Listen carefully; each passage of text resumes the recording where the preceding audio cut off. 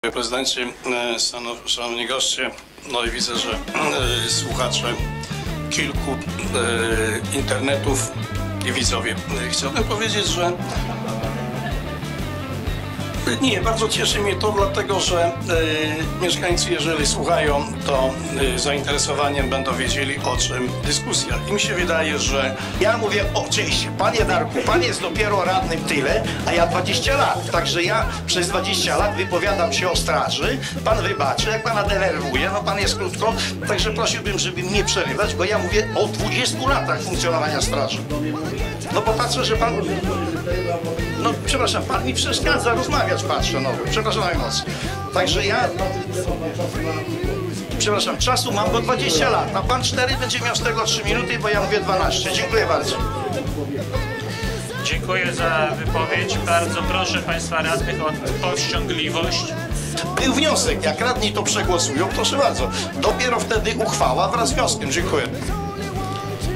Panie Przewodniczący, nie wiem jak mam zareagować na Pana permanentne wtrącanie się, przeszkadzanie. Nie pozwoli, nie pozwoli Pan y, skończyć już nie to, że wątku, ale, ale zdania. No tak, tak nie można. Pani, panie radny, apeluję Pana i proszę y, o jakieś takie właściwe zachowanie. Kończąc, Wysoka Rado, bardzo informuję Państwa, że mm, to mnie... Tego poddałem, przepraszam. Natomiast te słowa ta permanentnie tam, to ja nie znam y, o co chodzi. Dosłownie, że pan wytłumaczył. Przeszkadzanie permanentne, nie wiem o co chodzi, przepraszam. E, Panie, pa, panie radny, szanowni państwo, e, w tej chwili zajmujemy się sprawą likwidacji straży. Taka kwestia, o której mówi pan rodzice stosują stereotyp- stereotypy. W kwestii Trzeba z skrócić już, skrócić tego przekonania. Przepraszam bardzo, ale chodzi o czas. Dziękuję. To ja będę o tym decydował. Jako, jako ten, który inicjował i po prostu, który jest upoważniony do prezentacji. Cały czas jest do rzeczy. Cały czas jest mowa o ideologii gender. To się dzieje w naszym kraju. Chcę zacytować Pozwoli pan, że teraz do pani poseł, przedstawiciela parlamentu chciałbym powiedzieć, odezwać się dalej do y, radnych prezydenta, prezydentów i słuchaczy.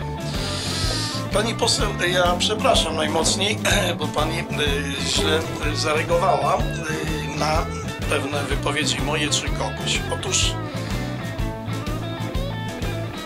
jedna rzecz. No dzieli nasz duży wiek i ja przeżyłem z doświadczenia, yy, byłem już dorosłą osobą. Tak, przepraszam, nie, nie, wyjaśnię. Ale przepraszam, nie, przepraszam, co mi chodzi. I chcę powiedzieć, że ja e, oświadczam, że ja mam takie same stanowisko jak pani, tylko...